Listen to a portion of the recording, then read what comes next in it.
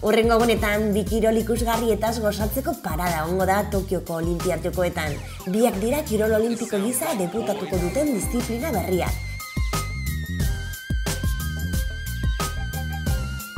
Eskuen eta hanken bultzadaz eta indarraz baliatuz, gaiur garaietara igotzean datzan kirola da eskalada.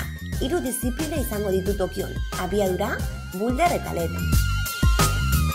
Abiadura modalitatean, bi eskalatzaile lehiatuko dira aldi bakoitzean, eta amabos metroko horma bat igo beharko dute. Bulder modalitatean, kirolariek bide finkoen kopuru jakin bat eskalatu beharko dute, lauko amabos metroko horma batean, denbora jakin baten barruan. Lehen modalitatean, alik eta altuen eskalatzen saiatuko dira amabos metro baino gehiagoko horma batean, eta denbora muga bat izango dute horretarako.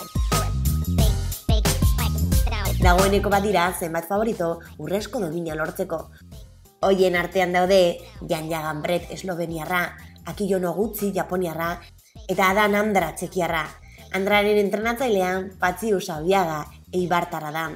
Leian, osteran, ez da Euskal Herritarrik egongo, oraingoan bintzat.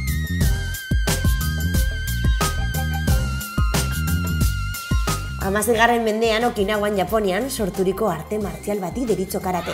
Eta aurten lehen aldiz ikusi izango da Olimpiar jokoetan. Abuztuaren bostean hasiko dira erakustaldiak eta bi lehiak eta mota egongo dira. Kata eta kumite deiturikoak. Guztira, larogei partaide izango dira karatearen munduko hainbat izar ere bertan izango dira. Kiyo Simuzu, Sandra Sanzet, Steve Da Costa eta Angelika Teruga besteak beste. Kasu honetan ere ez da Euskal Herritarrik lehiatuko. It sound right, boy.